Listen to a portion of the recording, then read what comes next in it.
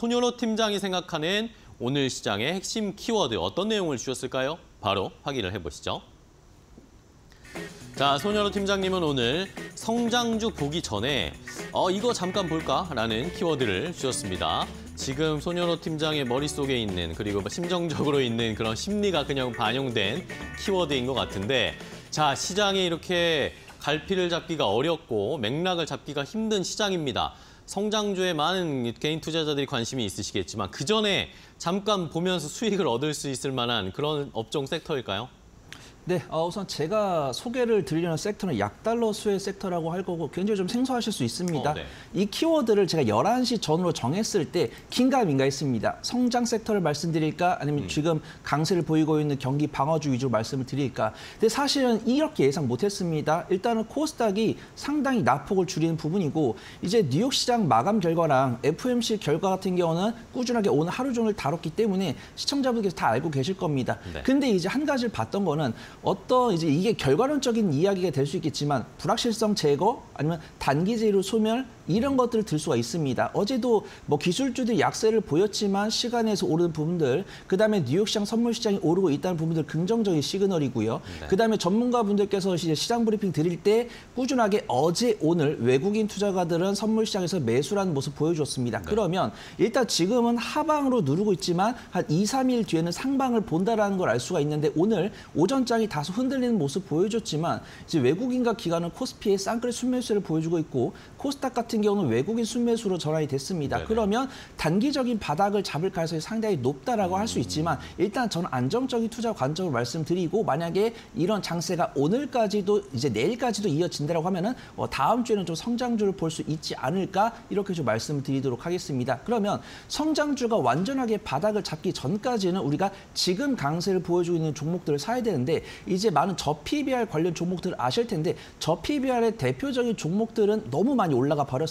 네. 그럼 그 뒤를 쫓을 수 있는 종목들을 봐야 되는데 저는 원달러 환율이랑 이제 미국에서 발행한 국채를 좀 집중을 했습니다. 우리가 경제 정책 바로 뭐 긴축, 뭐 양적 완화, 이런 뭐 테이퍼링 이런 것들 들어보셨을 건데 미국에서 채권 발행을 감소를 시켰습니다. 이 부분은 어, 미국에서 체력이 자신들은 체력이 있으니까 자금 조달을 크게 할 필요가 없다. 이거는 성장주들한테 좀 부정적인 얘기거든요. 근데 정작 성장주들은 저가 매수가 들어오고 있습니다. 서두에 말씀드린 것처럼 우리가 알만한 미국 기술주들은 시간에 오르고 있고요. 그다음에 오늘 반도체는 약세를 면치 못하고 있는데 AI 소프트웨어랑 로봇, 뭐 의료 AI 이런 종목들을 움직이고 있습니다.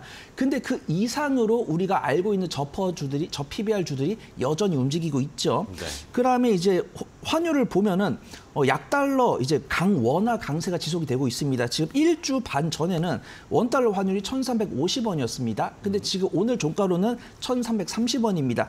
이런 상황이 성장주는 강세를 보이고 있는데 아직 확신할 수가 없고 저 PBR 관련 종목들을 어, 움직여 봐야 되는데 지금 보면은 성장주는 이제 변곡점 잡히면 다음 주에 다시 한 번 더 말씀을 드리고 채권 금리가 하락을 한다는 거는 기준금리 하락은 안 나왔지만 어, 기준금리 하락이 될 수도 있다 이런 뷰가 있고요.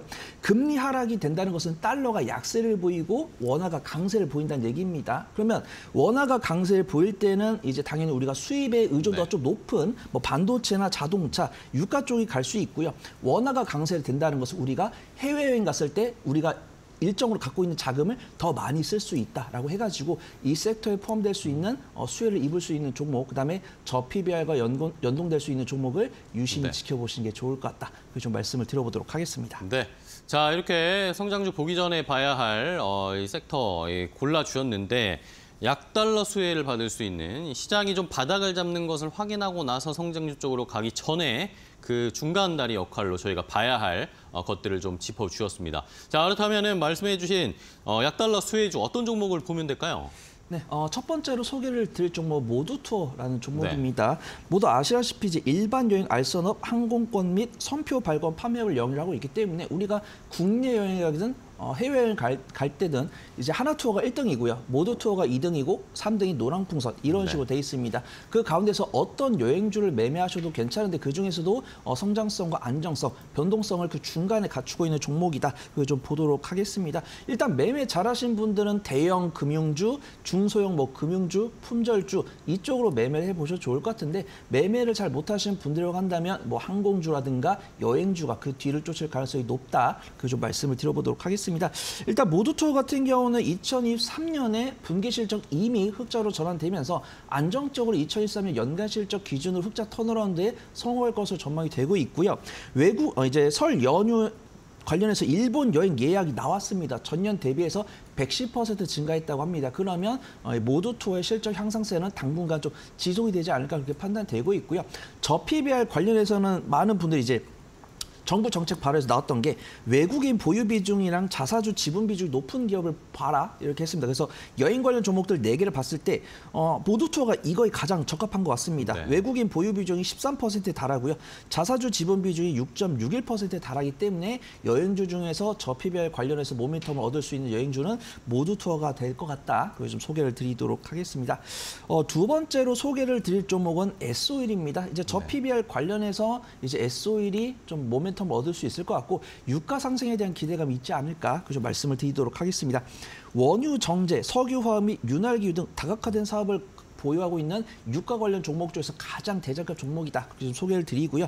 어, 사우디의 국영기업 아람코가 지분 63.43%를 보유하면서 최대의 주주로 있습니다. 많은 분들이 이제 사우디 빈산말 왕세자의 그 언론 플레이에 대해서 관심이 많으신 것 같아요. 그래서 카타르 월드컵도 있고 어떤 홍해 관련 지정학적 리스크가 있는데 이제 빈살만 왕세자가 이제 네옴시티 관련 수주를 위해서 조금 보수적으로 언론 플레이를 하고 있는데 그런 부분들 리스크들이 다 사라지고 났을 때는 적극적으로 이 언론 플레이를 진행했을 때는 이제 SO에 좀 반사 수익을 얻지 않을까 그렇게 보고 있고요. 어, 원유 과, 원유 이제 유가 관련해서 좀 상승 모멘텀이 있습니다. 일단은 경기 부양 기대감이 있죠. 미국에서 인프라 투자, 중국에서 지급 준비 인하 등 이런 어, 유가 상승 기대감이 있고요. 그다음에 원 달러 약세가 하락할 때는 이제 유가가 올라갑니다. 네. 우리가 이 유가를 달러로 결제를 해야 되는데 달러 가치가 떨어지면은 같은 기름 팔 때 달러 가치가 떨어지면 더 많은 달러를 받아야겠죠. 그런 기대감을 유가가 상승하는 부분이고 지금도 유가가 일간 변동성은 보여주고 있지만 우상향을 보여주고 있기 때문에 SO에 좀 수혜가 어, 갈 것 같다 이렇게 좀 판단되고 있고 네. 뭐 매매 잘하신 분은 뭐 흥구석유나 한국석유 이런 종목들 보시면 좋겠지만 매매를 잘 못하는 데다가 저 PBR 관련으로 수혜를 얻을 수 있는 유가 종목을 원하시는 분이 한다면 SOE를 유심히 지켜보시면 좋을 것 같습니다. 네, 알겠습니다. 자, 이렇게 시장이 좀 바닥을 잡기 전에 저희가 살펴봐야 할이 섹터로 어, 저 약달러 수혜주들을 골라주셨어요. S51과 모두 투어를 일단 확인을 해봤고 자, 그렇다면 이 키워드를 저희가 어, 김덕호 대표께도 함께 알려드렸죠. 대표님은 이 키워드 보시고 나서 어떤 종목이 딱 떠오르셨나요? 자, 일단 이제 달러가 약세가 된다는 점은 상대적으로 이제 미국의 화폐 가치가 떨어진다. 즉 그만큼 원자재라든가 제품 가치가 상승을 한다라고 보시면 좋을 것 같습니다. 그래서 제가 처- 보고 있는 종목은 바로 고려 아연입니다. 네. 어, 사실 이제 고려 아연 하면은 뭐 팬데믹 이후 때 부터도 계속 이제 전, 어, 전해 동박이라든가 이런 여러 가지 이슈들이 있다 보니까 사실 이슈가 나오기 전까지는 좀 주가 움직임이 좀 상당히 부진했던 경험들이 많습니다. 어, 더불어서 이제 최근에 원자재 가격 인상들이 굉장히 심하다 보니까 지난 2023 2년도에서 3년도에 넘어갈 시점에서는 여기에 대한 주가 손실이 어느 정도 이 영업 실적에 대한 타격과 연계가 되면서 어, 주가가 좀 어느 정도 하방을 압력을 받았다라고 말씀드릴 것 같은데요. 어, 다만 이제 이번에 미국의 CNBC에서 발표한 바에 따르면은 2025년까지 구리 가격은 총 75% 까지도 상승이 가능할 것으로 전망한다라는 기사가 나왔습니다. 네. 어, 우리가 이제 구리라고 하면은 닥터 코퍼라고 얘기를 하다시피 경기 전망에 대한 부분들을 선반영하는 상품 중 하나가 바로 이 구리입니다. 우리가 잘 알고 있는 주요 전기 전자 제품들에 대해서는 구리 상, 구리가 다 탑재가 되어 있죠. 그렇기 때문에 앞으로의 어떤 정제 마진에 대한 기대 가치 그리고 지금 현재 고려아연이 추구하고 있는 친환경 소재로서의 발판들을 어, 계속 꾸준하게 확장을 하고 있는 시점이기 때문에 오히려 저는 고려아연과 같은 건실한 기업들을 다시 한번 눈여겨보시자. 특히 어, 저 PBR과 관련해서는 그만큼 굉장히 큰 자본력을 갖고 있는 기업이 필요한데 고려아연 같은 경우는 이미 갖고 있는 어떤 자산 가치가 굉장히 상당히 큰 어, 기업입니다. 그렇기 때문에 오히려 저는 이런 종목들이 조금 다소 무겁게 느껴질 수는 있겠습니다만은 어, 묵묵한 기다림에 대해서 한번 보답할 기회가 되지 않았나라고 말씀을 드리겠습니다. 네, 알겠습니다. 자, 고리아연까지 이렇게 한번 저희가 약달러 수혜주로서 어, 체크를 해봤습니다. 시장이 지금 어, 변곡점을 좀 맞아가는 그 변곡점을 향해서 달려가고 있는 시점인데 많이 올라간 저 PBR주들을 따라가기보다는 그 후발주자로 또 올라올 수 있는 견실한 기업들, 탄탄한 기업들을 잘 골라내야 되는 타이밍이다라는 취지로 두 분이 종목을 소개해 주셨어요. 잘 참고해 보시고 이 종목들 추적해 보시기 바랍니다.